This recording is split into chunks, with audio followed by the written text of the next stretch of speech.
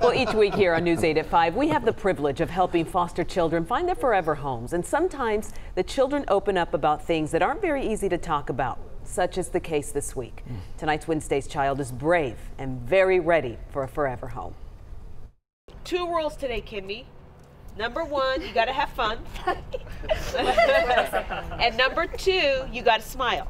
From the moment we met 14 year old Cimmey, we were all laughs. He has a very easygoing personality. Fun, happy, and cool. Let's check out some cars. Fast cars and racing are two of Cimmey's favorite subjects. I get to see brand new cars that I've never seen before. Here at Drive Exotic in Crescent, Cimmey and his buddy Nathan were surrounded by cars that cost more than some houses. Oh, Nathan's been my pal forever. I guess he cared about me and he said I wanted to come. Cimmey is happy to have a friend he can count on. Sometimes other kids are not so nice to children in foster care.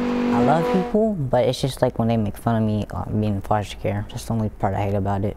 It's painful, but nothing will slow down Cimmey. He's on a fast pace to a better future, starting with earning an education. By doing my schoolwork every day, by going to school, and actually playing at school. If I have homework, I do it. No one has to tell Cimmey to be responsible. It's just his nature.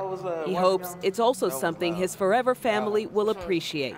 People that are nice, maybe that like to go out sometimes instead of staying in a, ho um, a home and doing nothing. Maybe a little bit of game time, a little bit, not that much. Um, help me with my homework.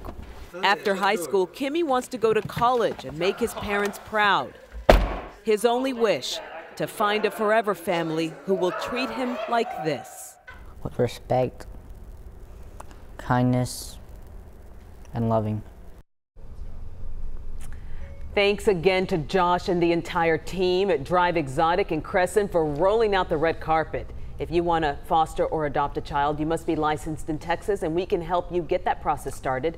Just visit WFAA.com slash Wednesday's Child. We'll be right back.